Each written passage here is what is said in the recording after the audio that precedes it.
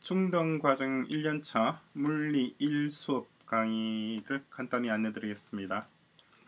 아, 교재는 여기입니다. 아, 사이트 웹에서 그냥 바로 진행을 할 겁니다. 그래서 어, ck12.org 예, 사이언스에 들어오시면은 여기 바로 주소를 좀 확대해 볼까요? 이 주소입니다. 보이죠? 보시면은 요 내용들을 보실 수 있습니다. 그래서 어, 여러 가지가 있는데 그 중에서 이 두 개, Physical Science와 Physics 이 분야 이 두 개로 어, 물리 1 수업을 진행을 합니다. 그래서 어, 상당히 기본적인 개념들을 우리가 살펴볼 수가 있고 그리고 구성이 아주 잘 되어 있습니다. 예를 들어서 어, 이렇게 항상 이 뭐라고 해야 되나요?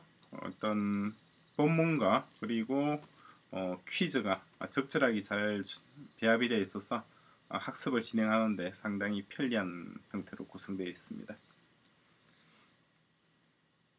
Read 파트가 본문이고 그리고 비디오도 좀 들어가 있어요. 어, 그리고 practice가 있죠. practice 있고 또 비디오 있고 이런 식으로 어, 비디오와 practice, 연습 문제 그리고 본문 어, 이런 형태로 구성되어 있습니다. 어, 상당히 재미있고 아기자기하게 잘 정리되어 있어서 간단하게 우리가 한번 살펴보기엔 아주 좋은 교재입니다. 물론 이제 이게 어, 영어로 되어 있다는 건데 우리가 이런 수업을 준비를 하면서 지난 초등 과정에서 어, 초등 4년 동안 영어 공부를 열심히 했던 것이 바로 이러한 수업들을 어, 자연스럽게 우리가 어, 진행하기 위해서입니다. 이게 어, 중등 과정 1년차 물리 수업입니다.